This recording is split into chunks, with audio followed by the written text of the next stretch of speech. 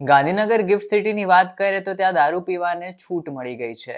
હવે international hub એવા Gujarat international financial tech city એટલે કે ગિફ્ટ સિટી કે જે ગાંધીનગરમાં આવેલી છે, ત્યાં લીકર પરમિશનને લઈને મોટો નિર્ણય લેવાયો છે.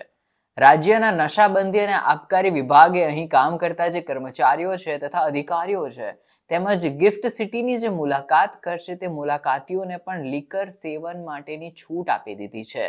અહીં ઓથોરાઇઝડ વિઝિટર જે છે તે દારૂ પી શકશે અને એમને દારૂ પીવાની છૂટ મળી જતા અત્યારે આ આખો મુદ્દો જે છે તે ચર્ચામાં આવ્યો છે.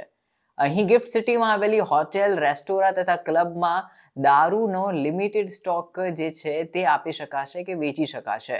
ઉલ્લેખનીય છે કે ગિફ્ટ સિટીની બહાર દારૂ નહીં લઈ જવા દેવાય એટલે કે ઓફિશિયલી દારૂની બોટલોનું વેચાણ નહીં થાય, પરંતુ લિમિટેડ માત્રામાં તે લોકો દારૂ પી શકશે. અહીંયા ગિફ્ટ સિટીની બહાર નહીં લઈ જઈ શકે.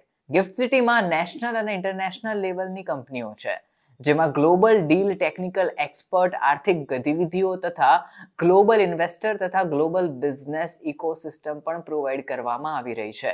અહીં દેશ વિદેશથી કર્મચારીઓ વિઝિટર્સો આવે છે, વસવાટ કરે છે, જેને ધ્યાનમાં રાખીને દારૂબંધીના જે નિયમ છે તે આ વિસ્તારમાં જે છે તે હરવા કરી દીધા છે અને લોકોને ત્યાં દારૂ પીવાની છૂટ અપાઈ છે. હવે ગુજરાતમાં દારૂબંધી છે, પરંતુ ગિફ્ટ સિટીમાં વાઇન અને ડાઇન ફેસિલિટી પણ ઉપલબ્ધ કરાવાશે, જેના માટે અત્યારે પ્રોહિબિશનના નિયમોમાં ફેરફાર કરવાનો નિર્ણય લેવાયો છે.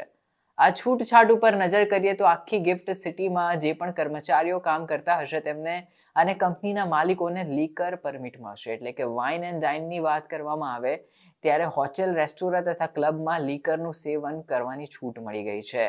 ઉલ્લેખનીય છે કે હવે કેવા વિઝિટર્સ દારૂ પી શકશે એ સૌથી મોટો સવાલ છે, કારણ કે આમાં ઘણી બધી માપદંડો પણ લખ્યા છે. હવે દારૂ પીવાની છૂટછાટની વાત કરીએ અને શરતો પર નજર કરીએ તો જે કંપની ગિફ્ટ સિટીમાં આવેલી હોય ને, તેણે જ આ ઓથોરાઇઝ કર્યા હોય તેવા જ વિઝિટર દારૂ પી શકશે. એટલે કે એક્ઝામ્પલ તરીકે જો ગિફ્ટ સિટીમાં તમારે કોઈ કંપની વિઝિટ કરવી હોય તો તમને એ કંપની તરફથી એક અપ્રુવલ મળશે, ત્યાર પછી તમે અહીં આવીને દારૂ પી શકશો.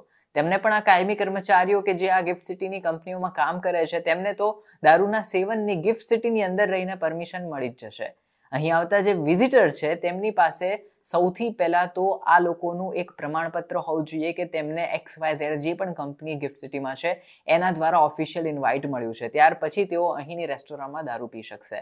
જો કે આ વ્યક્તિએ પણ ટેમ્પરરી જ પરમિટ મળશે. ગિફ્ટ સિટીની બહાર આ બધી પરમિટ કશી કામ નહીં લાગે. એટલે ગિફ્ટ સિટી બહાર જો દારૂ પીતા પકડાયા તો મોટો દંડ થશે. કર્મચારીની પાસે જો પરમિટ હશે તો કર્મચારી પણ ગિફ્ટ સિટીની અંદર જ લીકરનું સેવન કરી શકશે. જો ગિફ્ટ સિટીની બહાર જો આ કર્મચારી લીકરનું સેવન કરતા ઝડપાયો તો તેની ખેર નહીં હોય. આથી કરીને તેની આ પરમિટ જે છે તે એક્સપાયર ક્યારે થશે, ક્યારે નહીં થાય, કોને પરમિટ મળશે, કેવી રીતે મળશે, એ હજુ સુધી અંગે કોઈ સત્તાવાર માહિતી બહાર નથી આવી. પરંતુ આ તમામ કામગીરીની કડક નિગરાની કરવામાં આવી રહી છે અને ગિફ્ટ સિટીની જ વાત કરીએ તો કંઈ પણ હોટેલ હોય ક્લબ હોય કે રેસ્ટોરાં હોય તે એફએલ થ્રી પરવાના મેળવી શકશે. ઉલ્લેખનીય છે કે આ તમામ વિગતો ઉપર હજુ વધારે ચર્ચા થશે કારણ કે ગિફ્ટ સિટીની બહાર જો દારૂનું સેવન થવા લાગ્યું તો શું થશે? એ બધા મુદ્દાઓ પણ અત્યારે ઉઠી રહ્યા છે. પરંતુ આ બધા ઉપર અત્યારે પોલીસની કડક વોચ રહેશે. ગિફ્ટ સિટીની બહાર આવું કોઈ જ દૂષણ નહીં ફેલાય એવું પણ કહેવામાં આવી રહ્યું છે. અને ગિફ્ટ સિટીની અંદર જે છે તે જ દારૂનું સેવન કરી શકાશે. અને એ પણ એક લિમિટેડ માત્રામાં હશે. કારણ કે ઘણી વખત એવું થાય છે કે જે પ્રમાણેની પરમિટ આપી છે તે પરમિટનું કોઈ ઉલ્લંઘન ન કરે, એનું પાલન કેવી રીતે કરે, એની પણ ચોકસાઈ રાખવામાં આવશે અને એકદમ કડક બંદોબસ્ત વચ્ચે આ થોડી ઘણી હળવી છૂટ અપાશે.